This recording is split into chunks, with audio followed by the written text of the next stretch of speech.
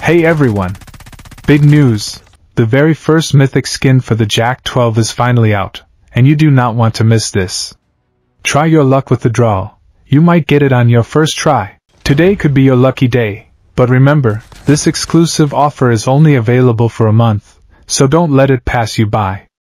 Plus, there's an exclusive camo up for grabs that you won't find anywhere else. I'm going to break down everything you need to know in this video. And if you're new here, do me a favor and hit that subscribe button to help the channel grow. It really makes a difference. Now, let's get started. First, check out the Phoenix Mythic Drop. Keep in mind that the Frostfire camo isn't free or something you can earn through regular gameplay. To get it, you need to first get the Mythic JAK-12 Rising Ashes. If you don't have that, you won't be able to claim the camo. You also need to fully upgrade your Mythic JAK-12, which adds another expense, making this camo the most expensive one ever in COD Mobile. If you've already maxed out the JAK-12, you still won't get the camo right away.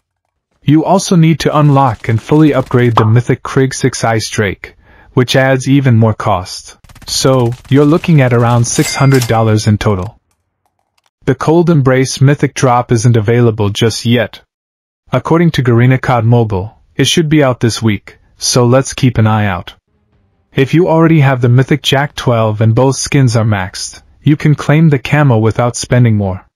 You need both Mythic skins because this camo is currently exclusive to these weapons. That's your only option for getting it. But if you want to avoid spending over $600, check out the next video on how to get cheaper Mythic cards.